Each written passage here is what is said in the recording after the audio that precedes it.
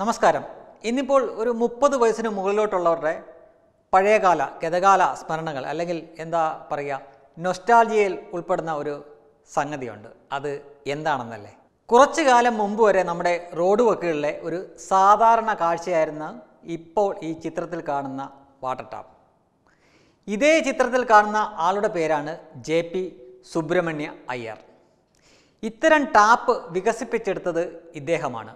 Jason water tap അല്ലെങ്കിൽ waste not water tap എന്നൊക്കെയാണ് ഈ ടാപ്പ് അറിയപ്പെട്ടിരുന്നത്.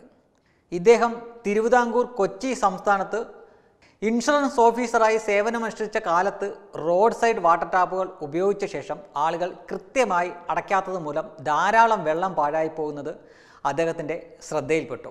ഈ പ്രശ്നം എങ്ങനെ പരിഹരിക്കാമെന്ന് നിരന്തരം ചിന്തിച്ചു കൊണ്ടിരുന്ന അദ്ദേഹം ചില എഞ്ചിനീയർ സുഹൃത്തുക്കളുടെ സഹായത്തോടെ ഒരു ടാപ്പ് ഉണ്ടാക്കി.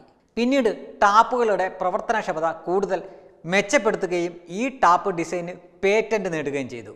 എന്നാൽ ജെയ്സൺ വാട്ടർ ടാപ്പുകൾ വരുന്നതിന് മുമ്പ് ഒരു crude self closing water tap ഉണ്ടായിരുന്നോ എന്ന് വ്യക്തമല്ല. സുബ്രഹ്മണ്യ അയ്യർ കരമനയിൽ ഒരു ഫാക്ടറി സ്ഥാപിച്ച് വൻതോതിൽ ടാപ്പ് നിർമ്മാണം ആരംഭിച്ചു. പക്ഷേ തൊഴിലാളി യൂണിയൻ കൊടികുത്തി സമരം തുടങ്ങി. പിന്നീട് അദ്ദേഹം നിർമ്മാണശാല കോയമ്പത്തൂരിലേക്ക് മാറ്റി. ഹൈഡ്രോപ്ലാൻ എന്ന ഒരു ജർമ്മൻ കമ്പനി ഇന്ത്യയിലും ശ്രീലങ്കയിലും ഒഴികെ ലോകമെമ്പാടും ടാപ്പ് നിർമ്മിക്കാനും വിൽക്കാനുമുള്ള അവകാശം അയ്യരുടെ കയ്യിൽ നിന്ന് വാങ്ങിയതോടെ യൂറോപ്പ് ഇംഗ്ലണ്ട് ജപ്പാൻ തുടങ്ങി ലോകത്തിന്റെ വിവിധ ഭാഗങ്ങളിൽ ജേസൺ ടാപ്പിന് പ്രചാരമുണ്ടായി. ജീവിത നിലവാരത്തിലെ ഉയർച്ചയും നഗരവൽക്കരണവും വീടുകളിലേക്കുള്ള ജലവിതരണവും കുപ്പിയിൽ വരുന്ന കുടിവെള്ളത്തിന്റെ സ്വീകാര്യതയും റോഡുകളിലെ പൊതു ടാപ്പുകളുടെ വംശനാശത്തിലേക്ക് നയിച്ചു. അപൂർവമായുള്ള പൊതു ടാപ്പുകളും ജേസൺ ടാപ്പുകൾ ഉപയോഗിക്കാതായി. എന്നിരുന്നാലും ട്രെയിനുകൾക്കുള്ളിലും സ്റ്റേഷനുകളിലും ഇന്ത്യൻ റെയിൽവേ ഇപ്പോഴും ജേസൺ വാട്ടർ ടാപ്പുകൾ ഉപയോഗിക്കുന്നുണ്ട്.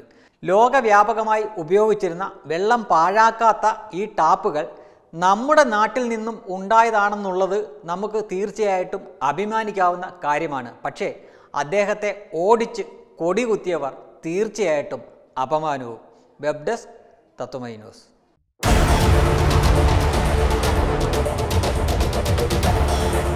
Tatwamayi ചാനലിന് ഞാൻ എല്ലാ വിധത്തിലുള്ള ഭാവുകങ്ങളും നേരുകയാണ് ഇതിന്റെ പിന്നിലുള്ള വിദഗ്ധകരങ്ങൾ എന്റെ ഏറ്റവും അടുത്ത സുഹൃത്തിന്റെതാണ്.